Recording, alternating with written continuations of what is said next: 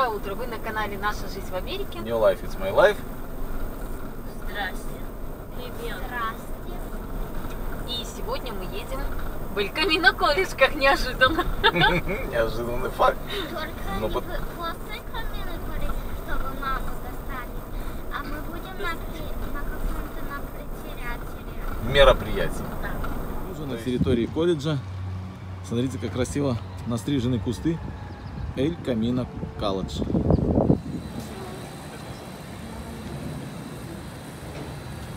О, Маришка уже пытается узнать, куда нам надо идти. Зачем и почему. У студента или у кого, не знаю.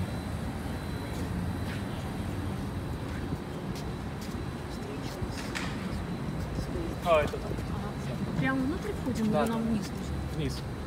9. Они сейчас закрыты. Здравствуйте. Здравствуйте. Они в 9 только Да. начинают? Чего? Было написано 8.30 у нас, там в школе наша. А вы тоже были? Я волонтер, да. Класс, ну все. У нас есть свой человек. Да еще и русскоговорящий. А вы откуда? Таджикистан. Да.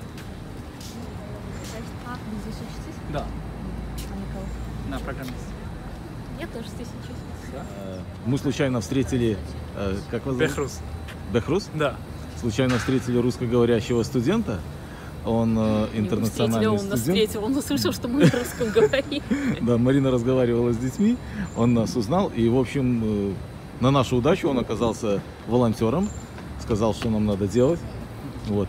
Э, Расскажи немножко, как ты вообще попал вот э, в колледж? Почему в этот колледж? Да, я вначале думал а, перейти в другой штат, но Ага. потом как так получилось, что мой друг сюда в этот колледж попал. И через него он, мы с ним выросли, друзья с пяти лет, и он мне предложил в этот колледж перейти.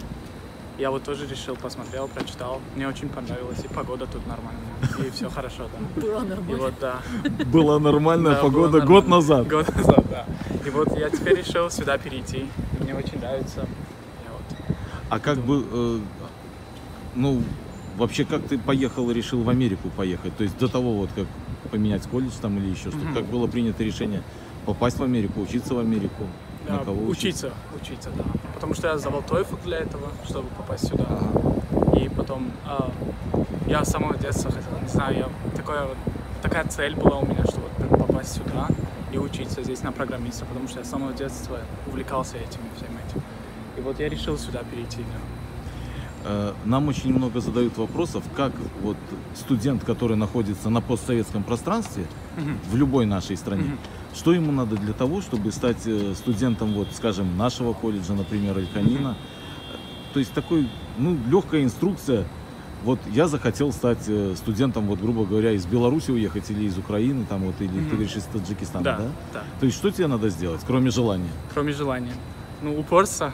Думаю, что надо изучать английский язык, чтобы потом прийти сюда и прям не потеряться, так бы сказать, среди людей. Это Потом- понятно. Да. А вот, ну, ты же не можешь просто так вот купить билет и, грубо Да нет, говоря, да. Я Камино. Вот, вот примерно я сдавал недавно, вот года два назад, TOEFL. Для этого я готовился где-то год. Ну, тест был такой сложный. Это английский, Английский экзамен язык. английского языка. Английского языка, да. Мгм. И я его сдал, сдал на, на хорошо. И вот я, чтобы тот тест сдать, нужно знать английский на очень хороший уровень. И как ты закончишь этот TOEFL, ты можешь подать свои документы, исходя из того, что какие университеты, какие у них требования по TOEFL, ты можешь сдать в университет, подать свои документы в университет и перевестись Но экзамен ты сдавал у себя на родине. у себя на родине. И потом э, онлайн через какие-то сайты Онлайн. Это онлайн, да. подавал документы. Да. И на э, колледж рассмотрел твои документы, сказал, что ты можешь Принят. приехать. Мгм. А, то есть сказал, что Да. принят. Они тебе отправляют приглашение, которое ты можешь от- с собой взять в посольство, которое ты им покажешь, что вот и меня приняли в этот колледж, университет, который будет документом, подтверждением, что ты попал в этот колледж, прошел все тесты, и это будет огромным плюсом для Уже на основании этого ты получаешь студенческую визу. Да, да, И можешь свободно приезжать, Свободно, у- начинать учиться, уезжать домой. да, да. Хорошо, вот ты приехал в колледж, а где живешь? Общежитие что-то не предоставляется? Да, я снимаю квартиру с другом. Мгм. Ну, это не такая уж большая проблема, потому что ты можешь а, в International Student Service попросить у них а, жилье у семьи какой-нибудь, они тебе могут это предоставить. То так есть что это не проблема. есть семьи, которые принимают студентов, Принимают, да, иностранных студентов. но им же надо платить за это, да? Да, мгм. обязательно, да. Но это тебе предоставляют с- со стороны колледжа. Помогают. Да, помогают найти семьи и все такое. Ну, такой вот вопрос я задам, ты на него можешь э, условно ответить. Ну, людей это все равно однозначно интересует. Он касается денег, то есть насколько это дорого, ведь э, за это надо платить за учебу. Да, да, за это нужно платить. Поскольку мы не можем тут работать как интернациональные Да, вот этот вот студенты, вопрос интересует. Да, это будет очень сложно, потому что тут каждый отличается от а, человека, который находится, э, который является гражданином Америки. Они платят намного меньше, чем интернациональные студенты, поэтому нам приходится очень сложно. Ну, не очень сложно, смотря Ну, как- какую-то ж работу можно делать, по-моему. Да. Сколько-то часов можно работать в колледже. в колледже, В да? колледже, да. Мгм. После чего они могут даже тебе предоставить social security, после чего ты можешь уже работать за пределами. В принципе, Да, устраиваться в принципе, работать. Да. И может ли вот студент учиться и заработать себе на жизнь или ну, своей работой как-то помочь, чтобы родителям не так тяжело да, было? помочь, да, но полностью оплачивать я не думаю. Не сможет Не наработать. сможет. Не хватит времени? Не хватит времени. А сколько в среднем, вот, например, э, уходит, э, какой у тебя расход вот, на питание, например, или на какие-то собственные нужды, не считая учебы? Ты можешь не отвечать, если тебе Да, неудобно то есть- на Да нет, эти нет, вопросы. да мне нормально, да. Просто это, это Месяц. такие вопросы, что Да, да, да. с одной стороны неудобно, с другой стороны это первый вопрос, который Да нет, волнует. это нормальный вопрос, да, я понимаю, меня много кто спрашивает. Ну, если считать в месяц за питание, если ты питаешься дома, готовишь дома, то в среднем у тебя уходит где-то 400 долларов. Мгм. 400 долларов. А если ты питаешься на улице и что-то там, ты можешь тратить больше. 500-600. За проживание я пл- плачу 500 долларов, 550 долларов Мгм. и живу с тремя людьми. Так что я разделяю комнату между собой. У вас одна комната да. на троих, не, да? двухкомнатная. Двухкомнатная. Двухкомнатная на троих, Мгм. да. Тяжело учиться?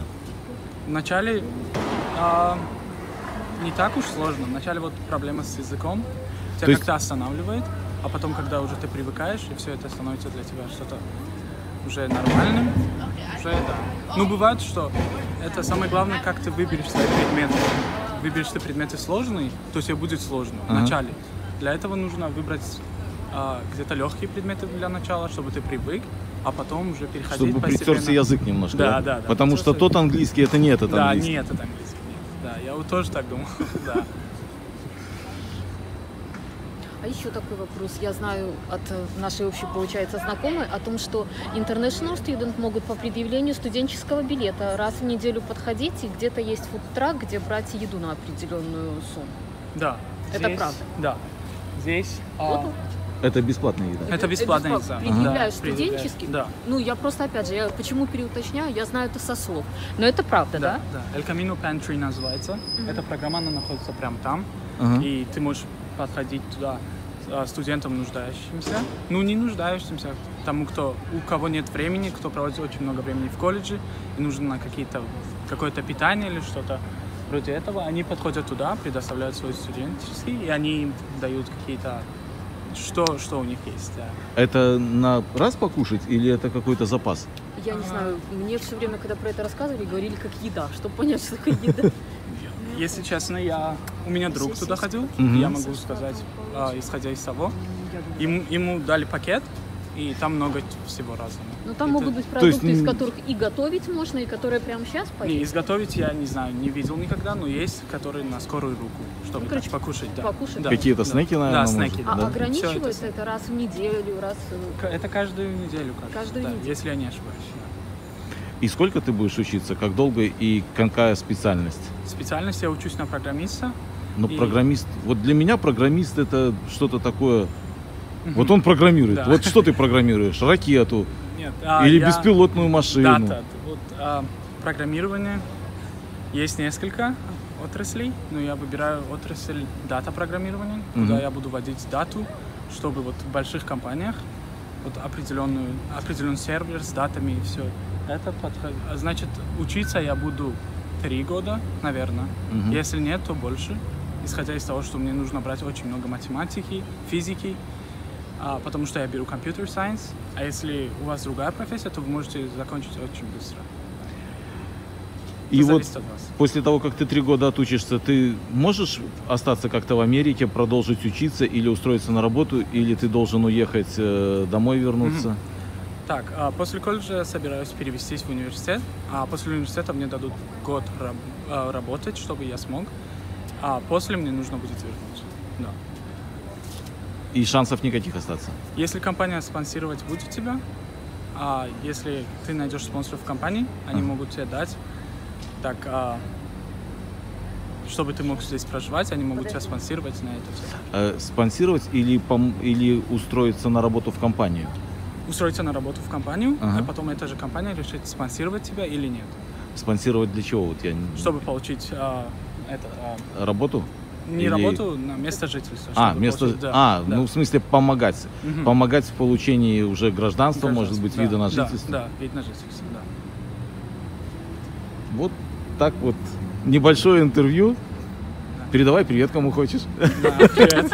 Возможно, тебя кто-то увидит. Да, Фирузу, моим друзьям, маме. Целую. Спасибо тебе большое Да. за рассказ. Я думаю, за всем что. будет интересно. Э, Мы можем оставить твой какой-нибудь э, электронный адрес или инстаг- инстаграм, если у тебя есть, чтобы Да. тебе могли задать вопросы, потому что, ну, мы встретились случайно, и, возможно, Марина сейчас будет ходить, встречаться где-нибудь на коридорах, но у всех будет очень много вопросов персональных. Я думаю, что ты сможешь ну, помочь, да, если конечно, ты хочешь, да, конечно, не да? против, да. Все, большое тебе спасибо. Да, да не за что. Спасибо. Хорошо тебе закончить. Надеемся, вам понравилось интервью. Оказалось, что он волонтер, что он помогает, э, А, Ну, он помогает, рассказывает. э, организовывает. Да. Вот. Если у вас какие-то есть к нему вопросы, пишите, пожалуйста, ему на Инстаграм. Я думаю, он с удовольствием вам ответит э, на любые интересующие вопросы, которые вас могут интересовать в плане поступления в колледж, э, Сдачи ТФЛ. э, да, TOEFL, сдачи экзаменов, экзамена. как вообще это все происходит. Потому что, ну,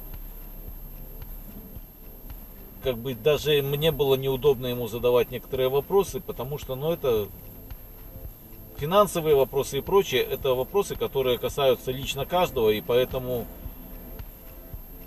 дабы не ставить человека в неудобное положение, я у него аккуратно спрашивал, и вы сами слышали, что говорил ему, ты можешь говорить, не говорить, поэтому вы можете уже в личной переписке, если у вас сложится или если он захочет ответить, я думаю, он с удовольствием поделится какими-то нюансами. И кому-то это может быть полезно. Как получать студенческую визу, как э, потом двигаться по стране, как э, находить себя в колледже, как э, устраиваться. Подписывайтесь на его инстаграм, пишите ему личные сообщения и задавайте вопросы. Очень приятно. Да.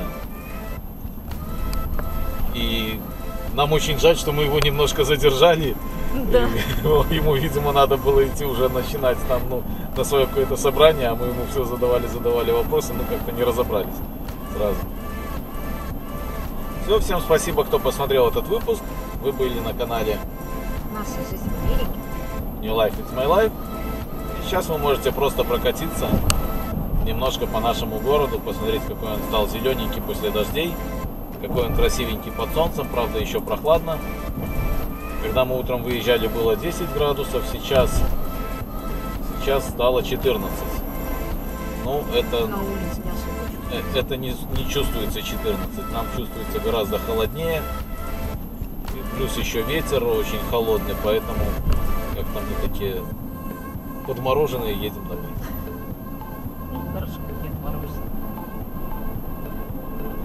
Вот, кстати, сейчас, значит, вот только мы, как бы можно сказать, то проехали гольф-парк. Э, И вот сейчас у нас с правой стороны тоже будет парк, в котором много всяких э, э, спортивных площадок. Там преобладают футбольные поля. Есть наверняка баскетбольная площадка. Вот, есть какие-то специальные там, помнишь, ты говорила, пожилые люди играют в какие-то свои игры, там с Да, этими но я не шайбами знаю, мячиками на песке, там что-то такое, мы не знаем эту игру. Но там прям место отведено и, и монтированы лавочки. Вот Туда приезжают конкретно именно в эту игру играть. Что это за игра? Есть детская игровая площадка, само собой есть туалет, парковка для машин. Ну, в общем, очень большой парк. Кушать, Да, барбекю делать. Вот. И вот сейчас мы его только буквально проезжаем. Будет перекресток. А, Потом небольшой участок э, Exxon Mobil компании. И будет следующий парк. Поэтому, скажем, погулять, отдохнуть очень есть э, много мест, много возможностей. Вот, до какого-то парка можно дойти пешком, в какой-то можно подъехать машиной. Но они все расположены так, что очень многие люди могут добираться даже без машины.